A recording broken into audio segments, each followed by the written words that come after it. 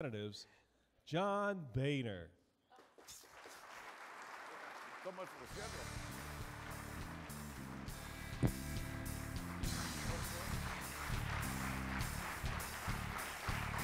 Thank you. And good morning. Uh, thanks for uh, showing up on a uh, rainy, cold day. Probably didn't have anything else to do, so you had to come. Uh, but uh, it's really good to be here. I want to thank uh, the Detroit uh, Chamber for, uh, for having me here, and I'm glad that all of you are here. You know, two years ago this month, I was at the University of Notre Dame, along with Vice President uh, Joe Biden, uh, to receive uh, the Laetare Medal, the highest honor they give out at uh, their commencement. And I told the students that day that Laetare is a Latin word. In English, it means rejoice. Exactly what I've done every single day since I retired. Listen, uh, I never thought in my wildest dreams I'd ever do what I did in my career. You know, a lot of you know I grew up in Cincinnati. I have uh, eight brothers, three sisters, and my dad owned a bar. And uh, I tell people all the lessons I learned growing up and the lessons I needed uh, to do my job when I became speaker. Grew up in a big family, have to learn to get along with each other, get things done together as a family. You grew up in a bar, mopped floors, did dishes, waited tables, tended bar. You need to learn a couple other lessons. The first lesson is you have to learn to deal with every jackass that walks in the door.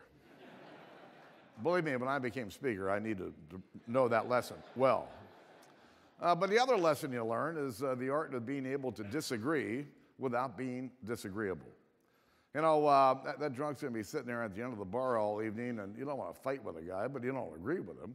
And so uh, you learn this, uh, this art of being able to disagree without being disagreeable.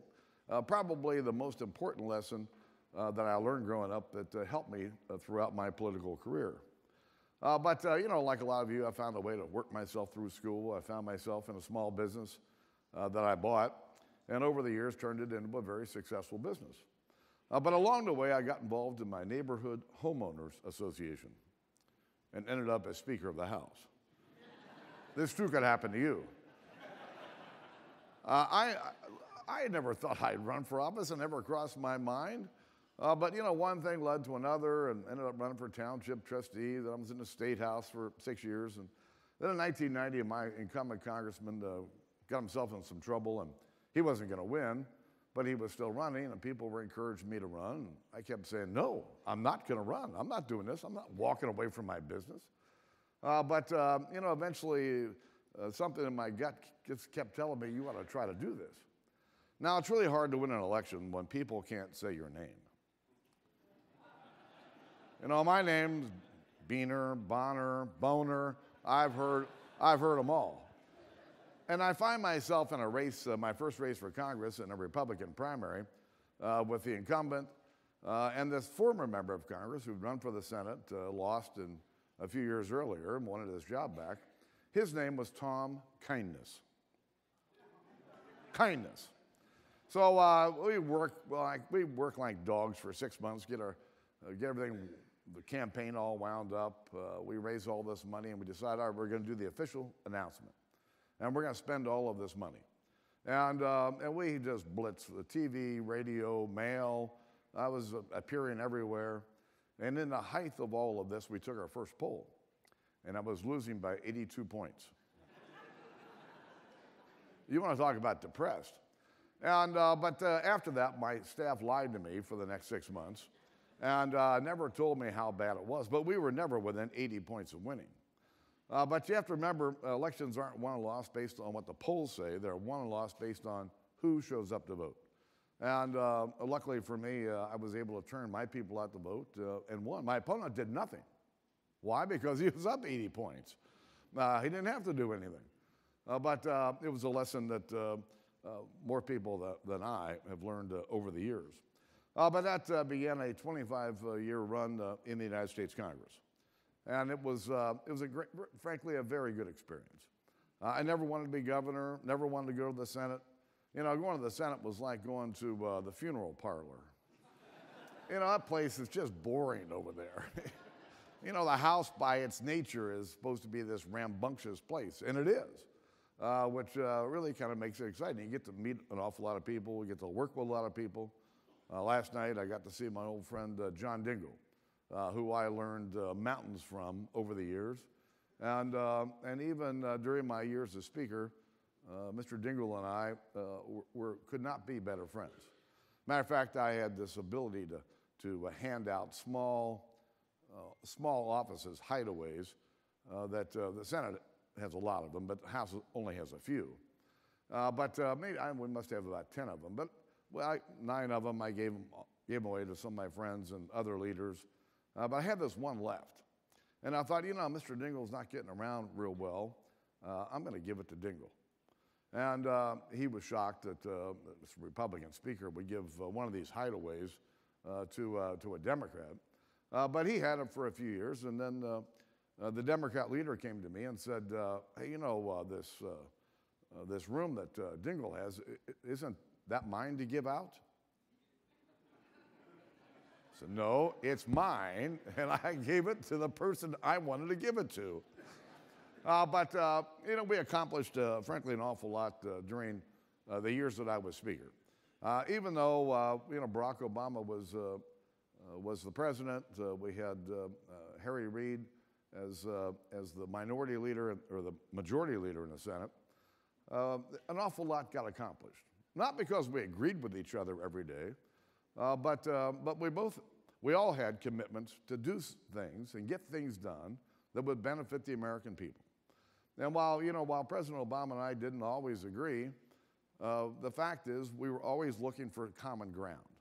People want to call it compromise, but it really isn't an accurate description of, uh, of, of what it takes to get things done.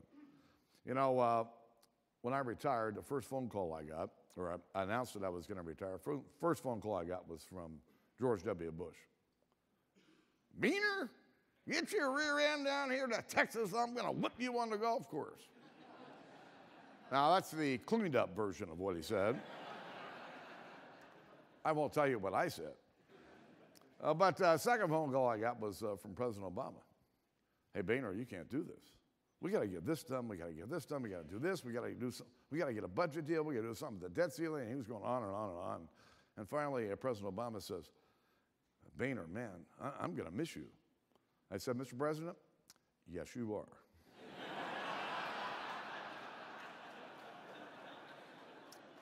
You know, uh, uh, the political process uh, requires a trait uh, that's going to be talked about here uh, at this conference, and that is trust.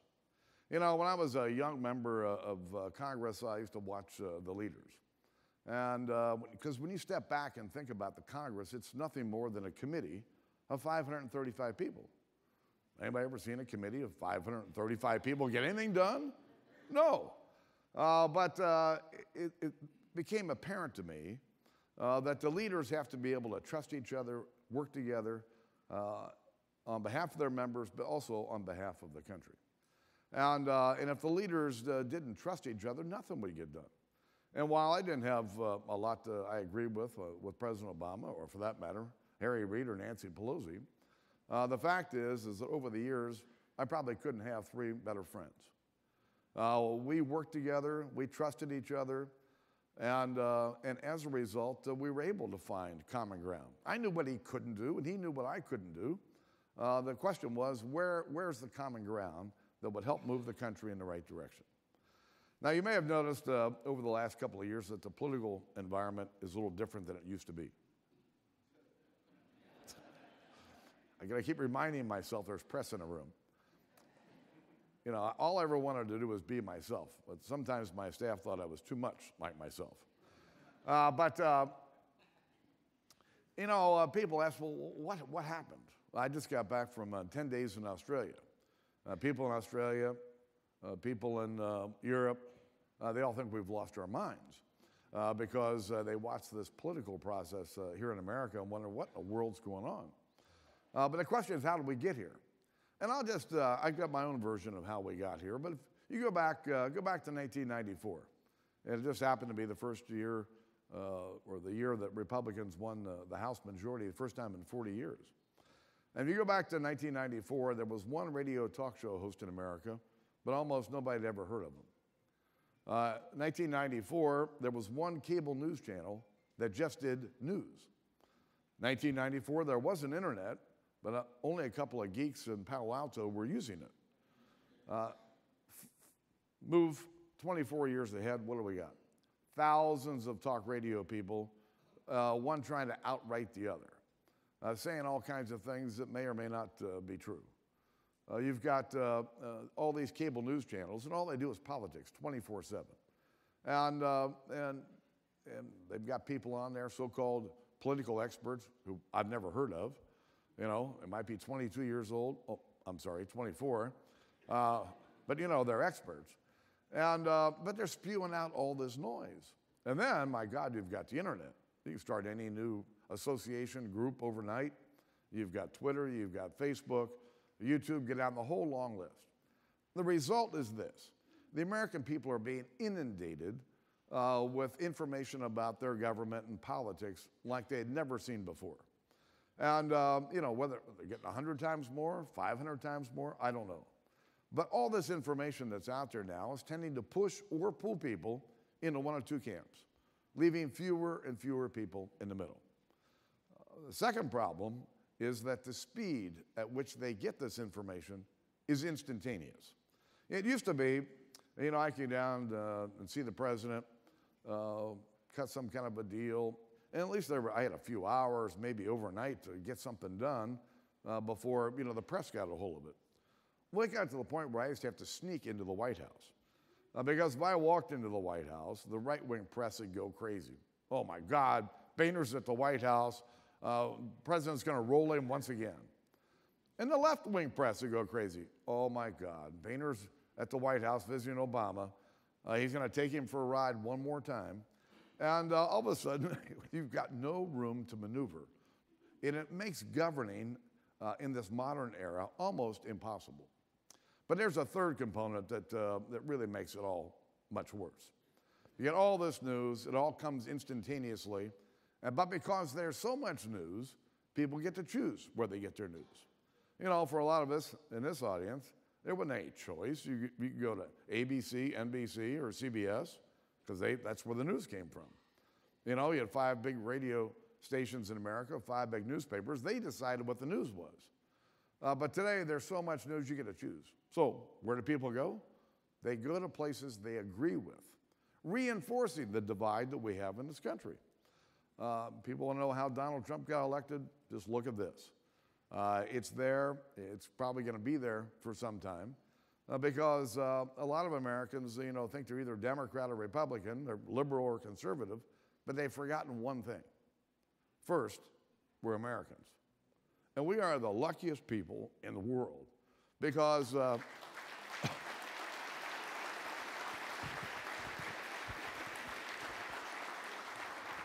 you know, in America, you can grow up and be anything you want to be. Uh, there's no country in the world that has the kind of mobility, upward mobility, that we have in the United States. And yeah, it's gotten a little duller than it was, uh, than it used to be over the last 10 years. Uh, but it's still a country where there's no limit on what you can accomplish. There's no class system. And it's the only country in the world where you can grow up as the son of a bartender and end up as the Speaker of the House. Thanks for being here.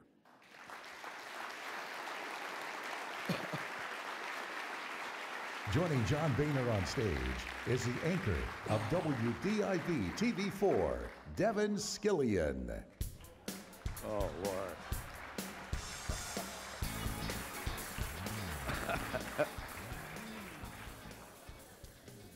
Speaker told me last night he thought this would be a lot more fun with Bloody Marys, and Yeah, but I really think you'd do this. why not? Well, the other problem is the marijuana dispensary doesn't open for a few hours.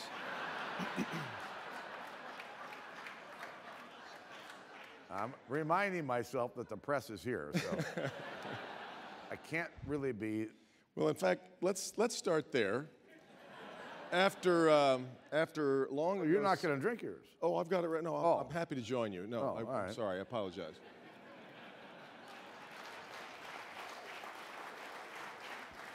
It's a good one. I think I'm going to need this. That's a good one.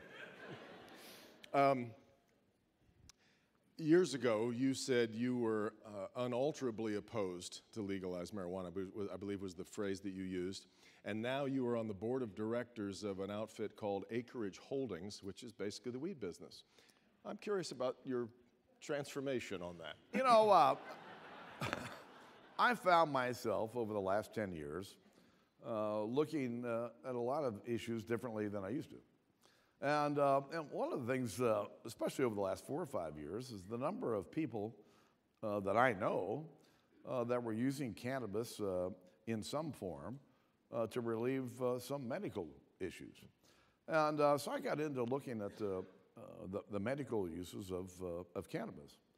And it really is pretty remarkable. And, and the plant's been around for 4,000 years. Societies have used it widely over those 4,000 years. Only in the United States over the last 100 years uh, have have we decided this is really bad stuff. And then, secondly, for those who want to use it recreationally, uh, which I've never used the product, don't intend to use the product, uh, but I don't really care if somebody wants to smoke a joint. Uh, fine, let them go do it.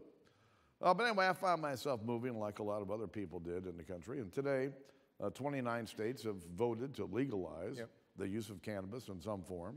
Uh, nine of them, you know, wide open. Right. Uh, and, but you can see where this is going. Uh, over the next five or 10 years, this will be available all over the country. But my focus is still mostly on the, almost entirely on the medical uses. Because it's a Schedule One narcotic, uh, almost no university will get anywhere close to it. Yeah. And so uh, there needs to be some real research, not, not anecdotal evidence, but real research on, on whether this helps people or not. There's a lot of anecdotal evidence that it does, but it's time to do real research. Yeah, with, uh, it's, appearing like it's going to be on our ballot unless the Republicans circumvent it and maybe uh, get it passed uh, early in the, in the, in the legislature. Um, I'm, as you put that, though, about that you've changed your thinking on that and other things, what are the other things that you think that maybe you were wrong about that you came to Well, I don't- have a transformation? Well, I don't know. I would say wrong. Oh, I'm sorry, yes. Mistaken, perhaps mistaken temporarily. No, no. People, people can change their views. And, uh, you know, take the whole gay rights issue. I mean, I, like millions of other, tens of millions of other Americans, uh, have done this transformational shift in terms of how we view these things. Yeah. I don't- think you'd, have a hard time doing this and saying things like this when you're in elected office. Uh, but uh, I found myself looking at that situation entirely differently than I did uh, 10 years ago. Not, frankly, not much different in terms of the thought process, the movement, uh, in terms of how I look at cannabis. It's interesting. We tend to uh, deride people for changing their mind. We see it as, as, we, as waffling or not being consistent, and we seem to reward stridency a lot of times, which doesn't allow for a lot of evolution. Correct. Yeah, interesting. Um, I want to talk to you a little bit more about uh, the collegiality problem that we have right now in Washington. You and I uh, spoke last night for a while, and you said that you probably don't have a better friend in the world than Harry Reid, which is interesting um, because I imagine there's very little uh, of the big political issues that you guys uh, find common ground on, but that's the collegiality that seems to be very missing right now. Yes, it does. And, uh, and you know, people want to blame the Congress or blame the people in the Congress. Uh, but let me share something with you. Members of Congress reflect the views of their constituents. And their constituents are like this. And while, while those relationships are still there, uh, my goodness, uh, if I were still there and, and I wanted to go do something publicly with Harry Reid and cut some deal, attempt to, the right wing would go crazy. And the left wing would go crazy on Harry because they don't want you to work with the other side.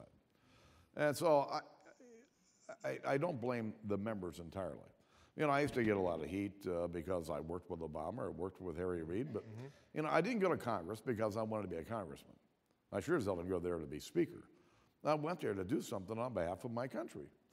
And um, that means you have to work with people. Our political process was designed to be difficult. Uh, our, our Constitution uh, minimizes great swings uh, in, in the movement of our government by design. And so uh, to get things accomplished in Washington, you've got to just stay at it, stay at it, stay at it. And, uh, and you've got to have people that'll work with you. Yeah.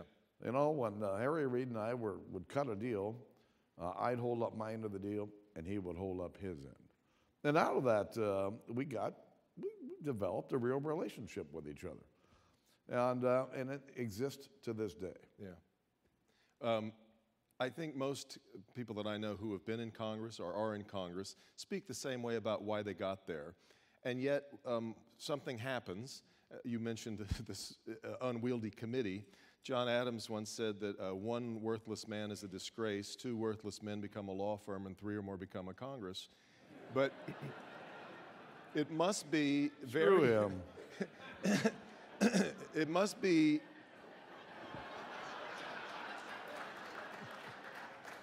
It must be terribly painful and galling when you're in it to find that uh, you are held in such low esteem as a body by the American people. The American people have used the Congress as their favorite whipping boy for 240 years. Yeah.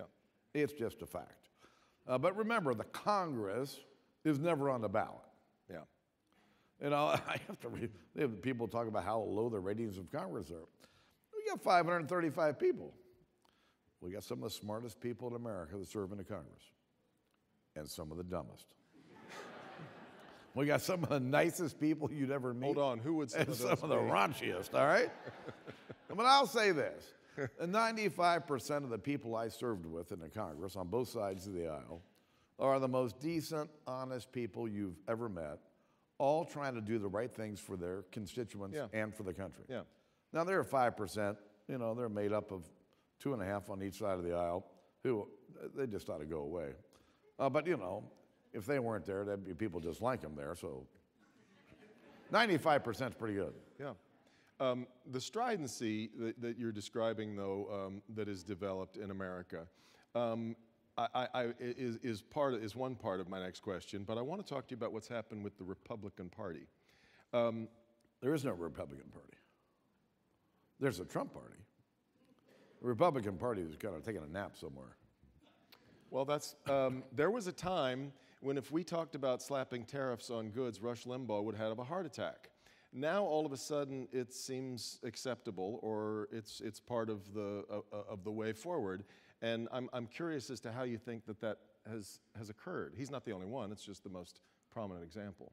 Well, you know, uh, Donald Trump, who I know well, was one of my supporters. When I was Speaker, I was having a rough week. Trump would call me, pat me on the back, cheer me up. Uh, we played a lot of golf together. Uh, but president, really? Uh, I never quite saw this.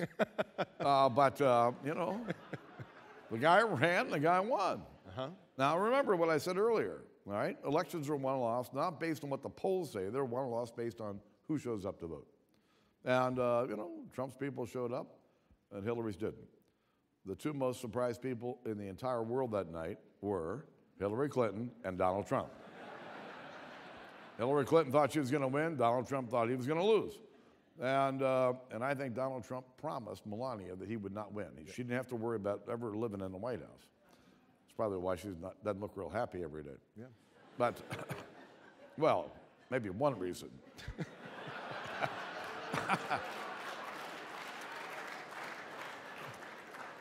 uh, but uh, listen,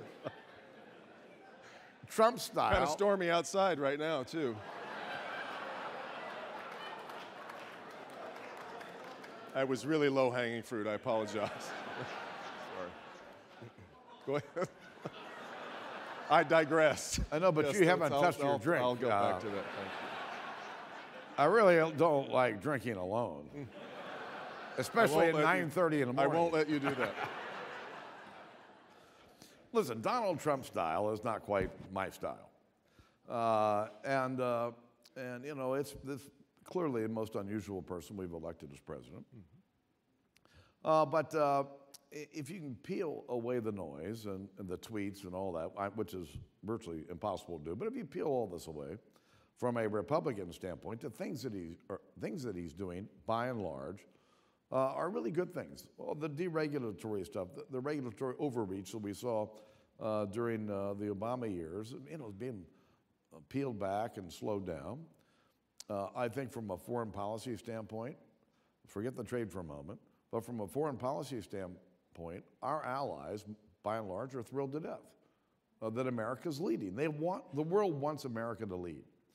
That's not how it always feels. Well, I know it. I, trust me, I understand that.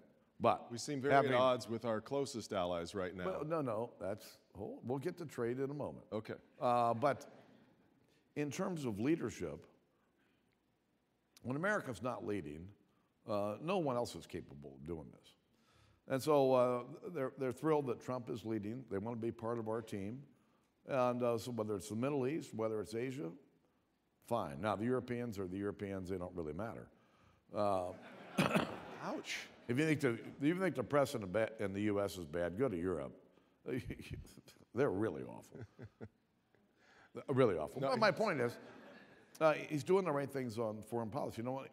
Look at uh, North Korea.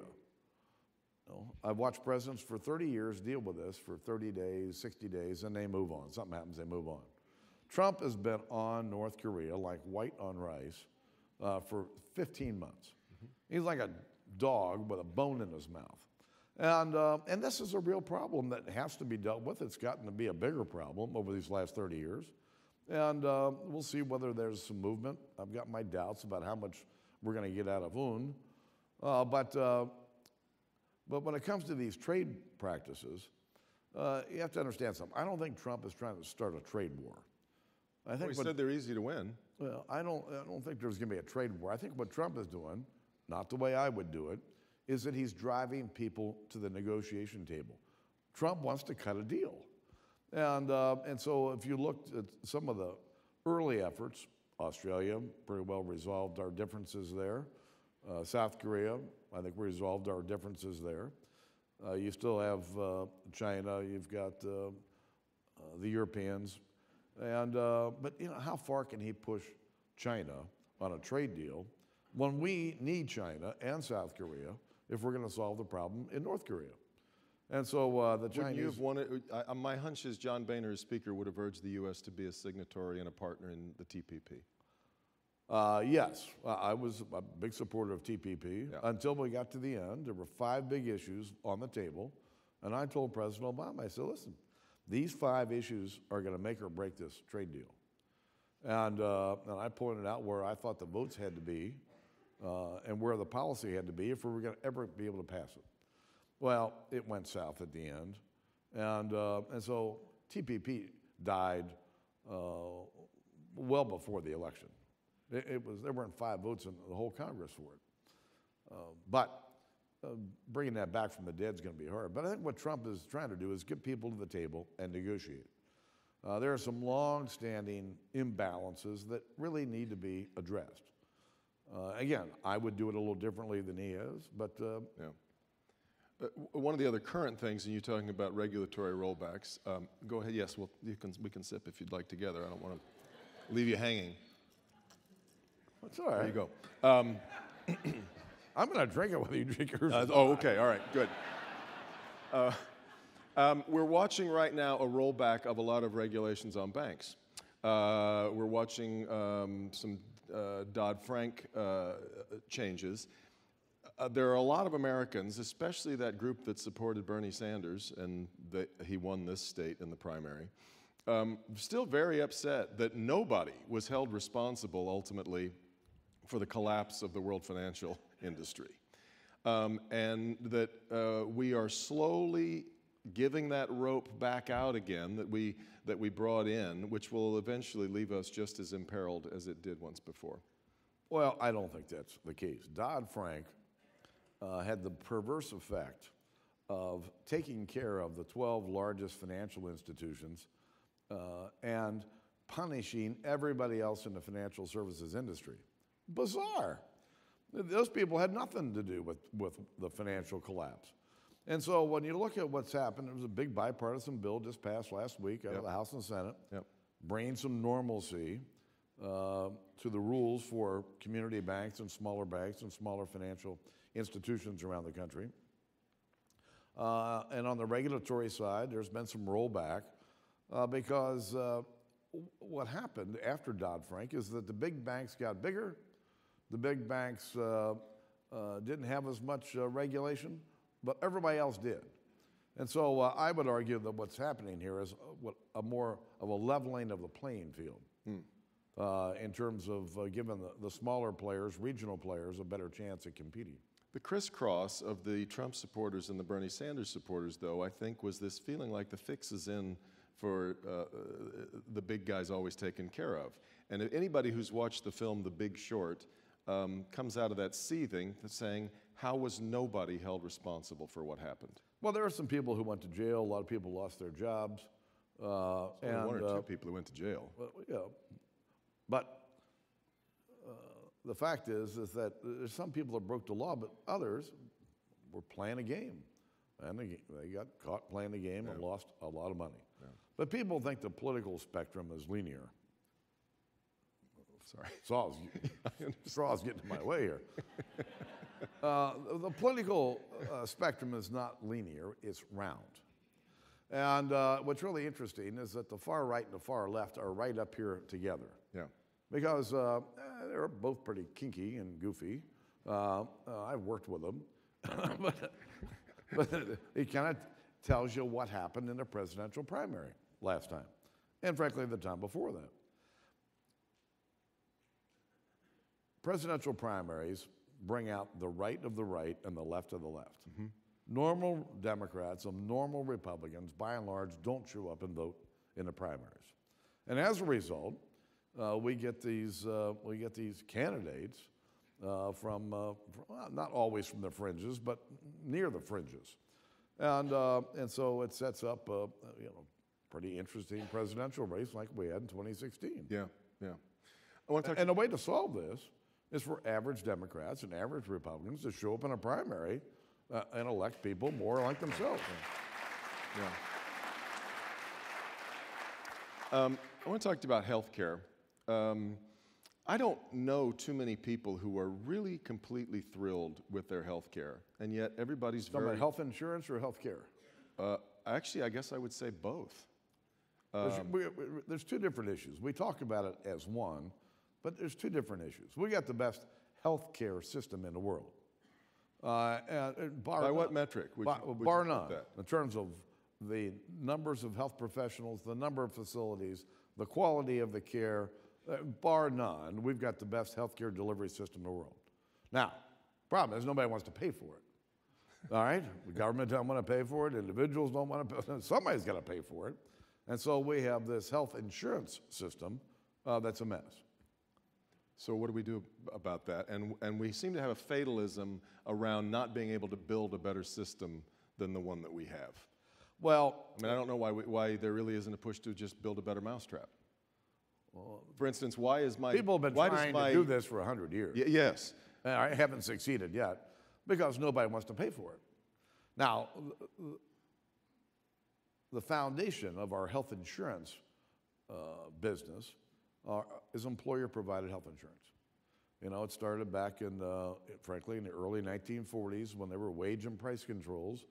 Companies were, were trying to hire people, and so they started to offer health insurance because that, it wasn't capped. And uh, it began something that today 125 million Americans uh, get their health insurance through their employer. does that make any sense in 2018? Probably not, but it is the foundation of our insurance system. Uh, for those who, who don't get it there, uh, today you probably have almost as many on Medicaid, uh, which uh, has grown by leaps and bounds. And so, and the government takes care of them up to 133% of poverty. So, who are the people who, who don't have access or don't have good access? And uh, I would call it the middle class and the working poor, who make too much to be on, on Medicaid, uh, and, uh, and their health insurance is expensive. And so uh, the whole idea behind the Affordable Care Act was to try, I thought, was to try to take care of that problem. Yeah. But the Affordable Care Act was really more of a government takeover of the entire healthcare delivery system, rules, regulations, instead of focusing in on you know what the real issue was. And so uh, I, I got in trouble about uh, a year ago because I said I don't think they're going to repeal and replace Obamacare. Uh, I think they're going to replace, or they're going to repair it. uh, which uh, they really haven't done yet. Uh, but there's, there are repairs that will make this work, uh, that will empower states, empower individuals, uh, and lessen the role of government in this. Uh, but uh, Which would suggest you'd like the guts of Obamacare to stay in place. Uh, I would give more control over to the states. Uh, I would empower more individuals, empower individuals, to take more choices. Yeah. Uh, but uh, the states would do a much better job of uh, running these exchanges, making products available uh, for their citizens uh, than some bureaucrat at the Department of Health and Human Services in Washington, D.C. There's some thought among uh, conservatives that it, it, it will actually be conservative thought that will finally get us to universal health care simply because it will be Universal the, health insurance. We have universal health care. Well, yeah, universal health insurance, if you want. Okay, um, because it will finally become apparent that it's the only financially efficient way. Uh, that it will be the most conservative way because it'll be the, it'll be the, the, the most cost-effective way to deliver health care. Well, that's not exactly conservative thought. Uh, not yet, but that's, that, that, that's I've read a, a few pieces by conservative thinkers who think that that's we just need to hit fast forward because eventually that's where we'll be. Listen, I, I, I believe in the American people. They're smart. They'll figure it out. And the more the, the government gets out of the way and empowers people, uh, frankly, from my standpoint, the better off we're going to be, when I, whether it's health insurance or a whole slew of other things. Um, I'd like to get now to back to uh, when you were talking about trust, and I'd like to get to what I guess I call the reporter's lament right now. Um, I am, as, as a journalist, I am not in the opinion business. A lot of the people who are the more prominent, the Well, it's because you are a journalist. well, All right? I, well, I try to be. Um, But you go back to, to what I was saying earlier. When you look at uh, what's happened with the internet and, Facebook and Twitter uh, and YouTube, and get down the whole list, everybody today is a journalist. Everybody's spewing out news. Uh, most of it has an awful lot of opinion wrapped around it. Yeah. And it is hard to find real news. It's hard to find what is the truth. Now, I read enough uh, publications, left and right, because they're all left or right, you know, hardly any down the middle. Uh, and, uh, you know, out of all that, you can kind of sort out what's real and what isn't. But it's hard to figure out what's real. Well, and, and that's partly been the journalism's world own, own doing because in the old days you had to turn six pages into the paper to find the editorial section. Now, when you go to a website, it's all jarbled together. Who knows what's there? But the, of the journalism cake, the icing that gets all the attention are people like I don't know, uh, Maureen Dowd, the, the columnists, uh, Nolan Finley, uh, for our, our local purposes, uh, Rochelle Riley, columnists. The bulk of the cake is made up of people like me who are really not in the opinion world, we're just reporters. Right. From my very first day in journalism school, I was taught that the only thing that was going to carry me through my entire career was to obsess about the truth, to obsess about accuracy which I've done, I guess, for 34 years. Now, here comes a president who is so loose with the truth and lies with such felicity that it, it is a little bit like taking all those reporters in the room and every day poking them in the, in the eye with a stick because it's where our OCD is colliding with his Tourette's syndrome in a way. so, Well, you know, I'm trying growing fi- up, growing up in politics, uh, you learn a couple lessons early. First lesson you learn is never get into a pissing match with a skunk. yes. Now the Couldn't president, now the president does it every day. All right. Right. The second thing you learn is never get in a fight with people who buy ink by the By the barrel. barrel, right. All right. He does it every day. So it's different. Yes, I agree. So when I. so the choice for many of us who um, are, are reporters every day is do we obsess, continue to obsess over some of these lies which really don't matter much? But his very first day on the job, the White House told us that it was the biggest crowd to ever witness an inauguration. from the very first day. Now, is that important? I, I wouldn't say that it really is. And yet, do I just let it go? And this has now happened, at least according to the Washington Post fact checker, over these are we're up to over 3,000 untruths, half truths, or outright lies. And the in point is, and a half. and the point is, The point is, where he's are president and you're not. that's well, that's exactly right. but But when you're talking about the breakdown of trust, if we no longer are going to expect the truth or anything um, even remotely resembling the truth, where are we going 20 years hence when he's no longer president? Well, listen, uh, my whole career was pretty straightforward. I wanted to be me. I didn't want to be somebody else that I wasn't.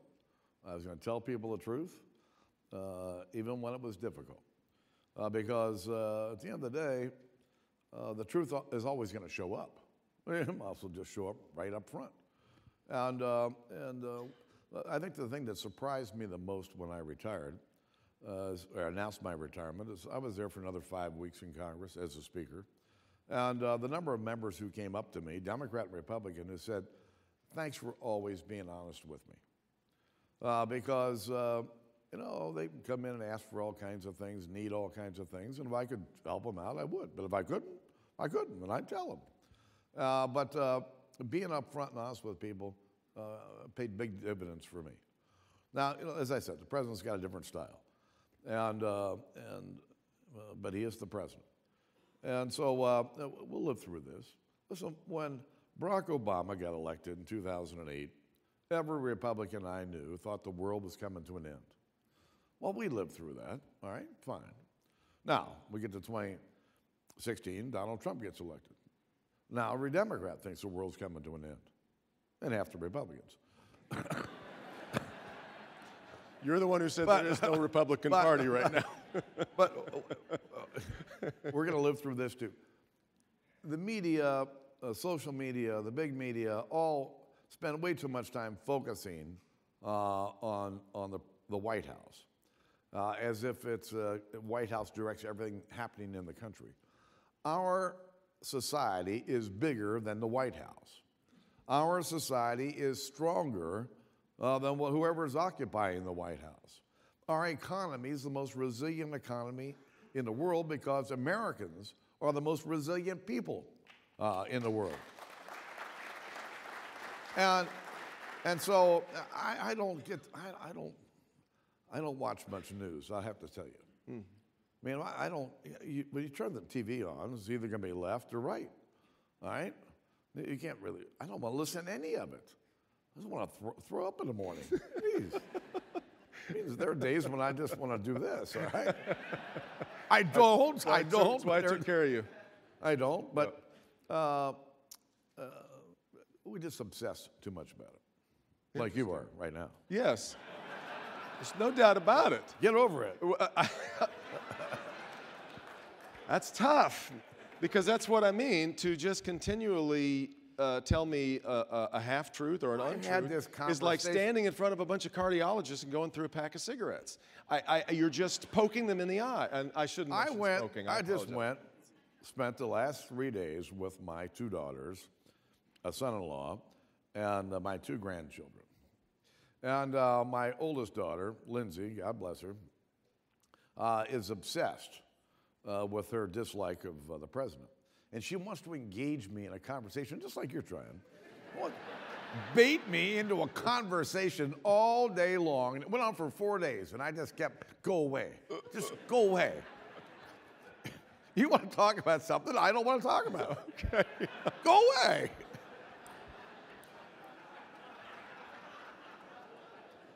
Sorry. Let me. Uh, I'm going to stay with you for another eight minutes and 40 seconds. Oh. Oh, it can't, Let's- go, it can't go away quick enough. You know, one thing I forgot. You know, there were I had a lot of great uh, successes during my time in uh, in uh, Congress and my time as Speaker. But one thing I, I failed to mention is that uh, uh, one of the greatest uh, things that happened to me was uh, was having Pope Francis come and address a joint session of Congress uh, in September of 2015. Yeah. I had tried for 20 years to get a pope to come to the U.S. Started in 1995. Tried to get John Paul to come and and didn't wrote him a letter. Didn't hear anything. And uh, we get to uh, uh, four or five years later, Pope Benedict gets elevated. I send him a letter, hear nothing. Although he did come to the White House, he didn't come to the Hill. Uh, but you know, we have these joint sessions where the House and the Senate come together, the administration, and uh, like a State of the Union. But I really wanted the Pope to do this. And so uh, when Francis got elevated, I sent him a letter. And I didn't hear anything for about six months. And Cardinal Wuerl, the Archbishop of Washington, friend of mine, was uh, on his way to the Vatican to try to convince the Pope to come in 2015. This is like February 2015. And uh, Pope uh, told Cardinal Wuerl, no, I'm not coming to the U.S. in 2015. I'm going here, I'm going here, I'm going here. Uh, well, uh, maybe some other year. He said, but I got this letter from your parliament. I'm somewhat intrigued by it. Well, Cardinal Wuerl says in the United States, it's our Congress, and the guy who wrote this letter is a guy named John Boehner. And, you know, he does all these things for thousands of kids in D.C., and I'm sure he laid it on thick. And so uh, the Pope says, okay, I'll come. So Wuerl runs out of, the, out, of the, out of the office, calls me and says, now you can't tell anybody. But he's coming, he's coming. Well, it turns out my daughter's pregnant with my first grandchild. And so Cardinal Wuerl, well, a couple weeks later, we get a date. He's coming on September 24th. My grandson's going to be born six weeks before this. And so uh, Cardinal Wuerl, Cardinal Dolan, New York, uh, start working the Vatican over to get the president, or the Pope, to baptize my little buddy, my grandson. Well, you have to remember the Vatican has a 2,000 year head start on bureaucracy over us. they are really, really good at this. so finally, uh, as it goes back and forth for months, uh, the Vatican says, listen, we'd be happy to have the Pope bless your grandson, but we don't really want him to do a baptism. Fine, wonderful. So uh, we get to September 24th, 2015. I got every camera in the world in my office. They're all there. And uh, here I am, Catholic grade school, Catholic high school, Catholic university. I was an altar boy, and here comes the Pope. And you know, I can get a little teary eyed once in a while. well, I was a mess. So I'm, I'm standing there, you know, there, all the cameras are behind me. I'm, I'm sucking it up. I'm really trying to hold it together. But I, I finally got it together. Pope came, they all got their pictures, got rid of them.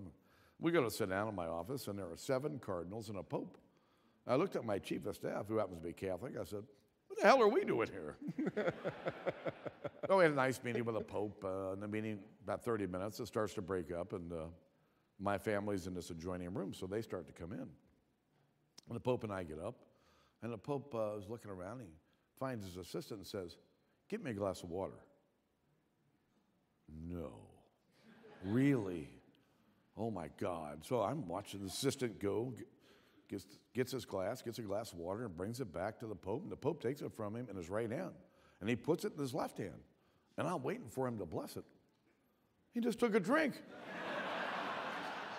the greatest head fake you have ever seen in your life. but I have to tell you, I had an amazing morning with the Pope.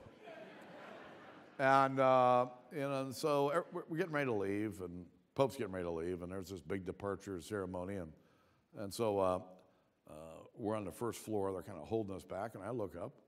It's just the Pope and me. There's not another soul anywhere around.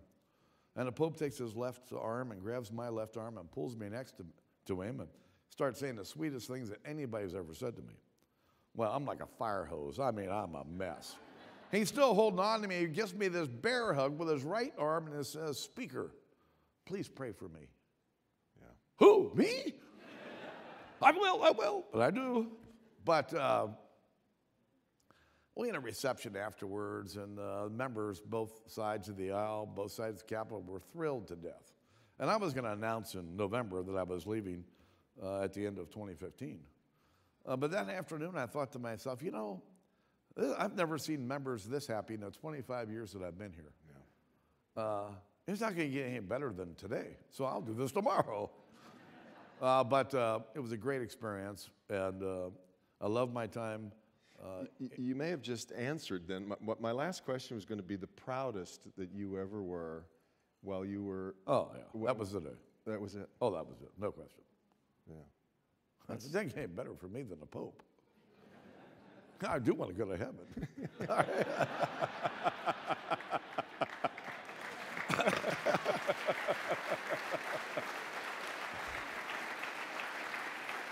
That's extraordinary. I haven't, I haven't had to get my handkerchief out yet either. Some people really work at trying to get me to tear up, which really is very hard. Well, I, I didn't. I, didn't ask you about the Pope story. You, you did that. Oh no, no, own, that's but that because was- that- that- because I was trying to get you off whatever I understood. you were talking about. Very. I thought it'd be more entertaining. Oh, it, it wasn't lost on me. I, it was very slick. I thought it'd be more there. entertaining for the audience to talk about something more interesting. No, kidding. You're about out of time now. No, I know. You got no, two no, minutes. No. It, it, it, I'm, I'm not being able to finish my drink. Sorry. Yeah. Um, if, if you had the biggest disappointment, though, of something that you weren't able to accomplish that Yes. you wanted to do, what was that? In 2011, uh, we had to raise the debt ceiling. I was a brand new speaker. I worked for six months with President Obama to convince him that big things that happen and last happen when both parties' fingerprints are on the deal. Yeah. I made it very clear I was not going to raise the debt ceiling without doing something about our spending problem. For 60 of the last 65 years, we've spent more money than what we brought in. You can't do this in your home, you can't do it in your business, and your government can't do it either. And, uh, and so uh, during the, the five years that I was speaker, it was clearly the issue I spent more time on was trying to stop, slow down, or stop our spending problem. And uh, so the president and I came to a, an agreement late July 2011, uh, a $5 trillion deficit reduction package uh, that, uh, that was the first 10 years with long tails. It wouldn't have solved our spending problem, but it would have put a giant dent in it. And the president and I, Eric Cantor, stood in the Oval Office on a Sunday morning, shook hands on the deal. The whole White House was involved. Three days later, he walked away from the deal. Uh, I can't even tell you the disappointment I went through. Uh, we ended up with a $2 trillion deficit reduction package uh, called Sequester. Awful way to cut spending, but it worked. Uh, but nothing even comes close. Yeah. Disappointment. Yeah. Um, you, You didn't drink much of your drink, know? I've been talking. I, I, in fact, maybe I did more talking than listening. I'm sorry about that. Well, that's, um, what, that's what most uh, journalists do. reporters I do. Walked right into that. um, you, you, you, told me last night, though, that uh, you don't miss it right now. Being around it, being a part of it, being in the. Oh, look at the look on your face. Who would miss this? I mean, it's, uh, it's just, it's too divided. The country's too divided.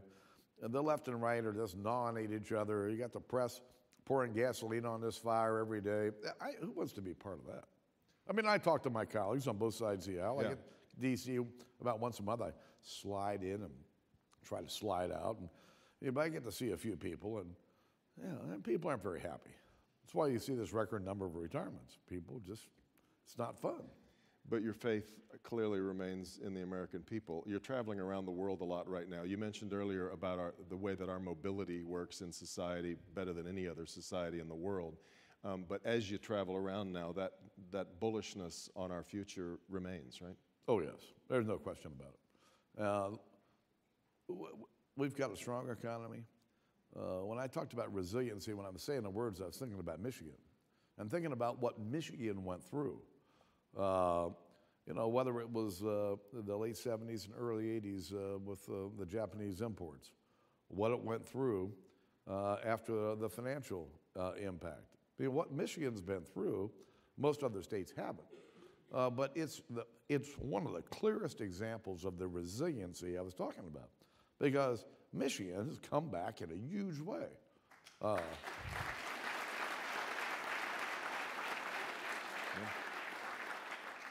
I think we can drink to that. Ladies and gentlemen, former Speaker of the House, John Boehner. thank you. Cheers. Cheers.